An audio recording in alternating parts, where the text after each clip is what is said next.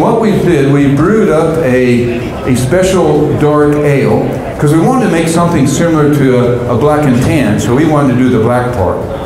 And so we used uh, some uh, chocolate malt, some black wheat malt, and uh, it's made a fairly dark beer, almost like a porter.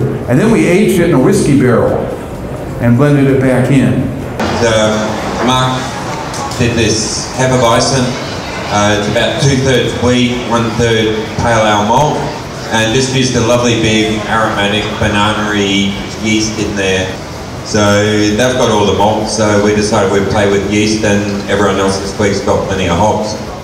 Work out your blend, enjoy it, savor it, and then come back and get some more. And I'll be around to talk to everyone, so will Michael, and I think it should be a good evening. Are we ready?